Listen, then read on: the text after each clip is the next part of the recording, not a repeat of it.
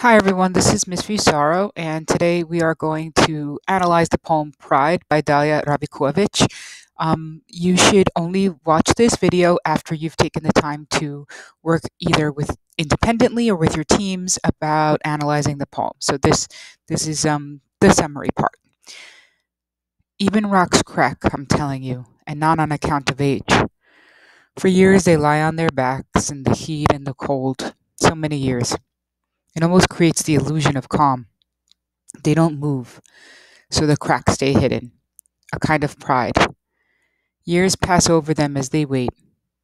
Whoever is going to shatter them hasn't come yet.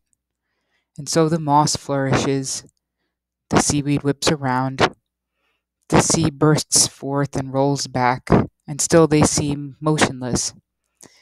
Till a little seal comes to rub up against the rocks, comes and goes and suddenly the rock has an open wound. I told you, when rocks crack, it comes as a surprise. All the more so, people. So, what we're supposed to recognize here is that the rock really does already symbolize people, um, and and more so specifically people who appear strong, right? Rocks are always kind of symbolic of something that's strong and steady and sturdy. Um, we even use it when we're talking about people, we use it as a descriptor. Oh, you know, he's like steady as a rock, solid as a rock. Um, and not just physically when we talk about strong, we also talk about, we mean emotionally for people when we describe them as a rock. And so symbolically here, a rock is a strong person, somebody who always seems to have it together emotionally mentally, not just physically. So that's important. So when we take a look at the poem, um, first of all, our narrator is speaking in second person, which is, you know, interesting because it's speaking directly to you and, you know, kind of giving you that direct message. So our narrator is like, you know, even rocks crack, I'm telling you, and not on account of age. So it's not that these people, these rocks over time, they just kind of denigrate. It's it's just something that happens. So they say, you know, it, it, goes on like for years they lie on their backs in the heat and the cold, so many years. It almost creates the illusion of calm. So here is what we're understanding is that these strong people, these emotionally strong people, they go through so much, and that's why they get their label as being rocks. That's why they get their label as being strong. The heat, the cold, year after year. For us, it would be like trials and tribulations and different obstacles that make us view someone as strong. Like, wow, I can't believe they kept it together through all of that. You know, they they must be so strong. And but what our narrator is telling us is that it creates the illusion of calm. You know, they seem like it. And our narrator is kind of speaking from a point of wisdom where saying, you know what, it, it may seem like people are, are these strong people are strong, but it's like the old adage, like the straw that broke the camel's back. It's like the one thing that will finally you know turn that person. So this is what you know the, the author continues to say like they don't move so the cracks stay hidden.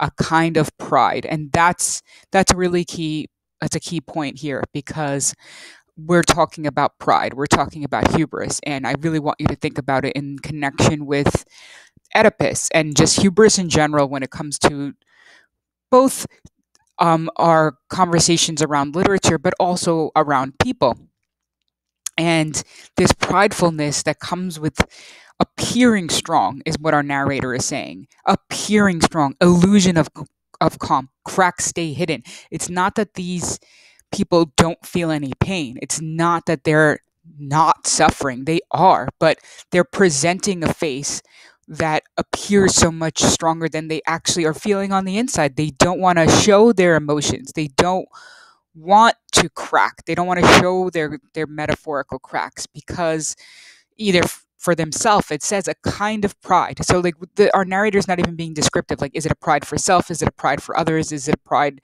as a pride it doesn't it doesn't matter really. It's just this pridefulness that prevents them from showing that they're in pain for whatever reason. And we we've all either known someone like that or have been like that at some point or another. They're talking, our narrator's talking about somebody who's consistently kind of like that. They kind of just take those scenarios in and they don't ever show it, but we know like they must be hurting, right? Like we're human, we hurt. And like it's just it's normal. It's perfectly normal to hurt. So they're talking about like they, they're hiding that hurt and the kind of pride. Years pass over them as they wait whoever is going to shatter them hasn't come yet. So there is, we're listening to the tone here. Whoever is going to. So our narrator is self assured. Our narrator is guaranteeing that there's going to be a moment where our person, our rock, can't take it anymore. And maybe it hasn't happened yet. And so the moss flourishes, the seaweed whips around, the sea bursts forth and rolls back. More time goes on, things other things happen not always necessarily bad just they continue to hide their little cracks. And they and still they seem motionless so more things happen. And they, the rock still appears like this person still appears to just be full of strength. But we know then till a little seal comes to rub up against the rocks comes and goes. And suddenly the rock has an open wound so there's a lot of stuff going on in those few lines here. A little seal. Okay. Uh, well, first of all, we have to look at again the, the the diction till a little seal. So our narrator shifts diction so she doesn't use until she says till so it, it also makes it a little bit more diminutive kind of making it smaller that's what diminutive means making till a little seal the little also makes it even more diminutive and seal when we think of seals symbolically they're like the puppies of the ocean, right? So it's like the cutest little, furriest, sweetest little thing.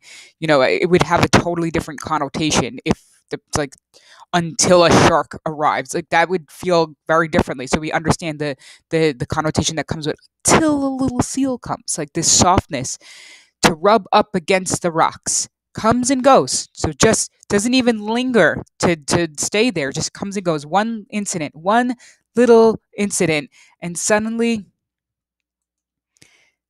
the rock has an open wound. And suddenly this person finally cracked they finally cracked and it seemed like nothing that made them crack. A little seal, one little incident, all of a sudden they're totally falling apart because this whole time, this pride, they've been holding it in. They've been holding it in. They've been trying to protect themselves. They've been trying to maintain the strength that eventually leads them to one tiny thing that sets them over the edge. I told you when rocks crack, it comes as a surprise. All the more so, people. So those people who will crack out of nowhere, those people who are holding it in, our narrator's kind of warning us like, it's just going to take one tiny thing that sets that person over the edge because of their pride, as opposed to feeling things as they come, hurting as it comes, and recognizing the obstacles as they arrive. The pridefulness of trying to be stronger than you are, feeling ignoring emotions, it it it actually destroys you over time. Whereas when you're feeling and you're living in that moment, you're building resilience. You're building that grit that will emotionally strengthen you. So I want you guys to think about how is this applying in the story of Oedipus Rex right now? And how does this apply with people? What are your thoughts around this particular poem? Thank you for listening.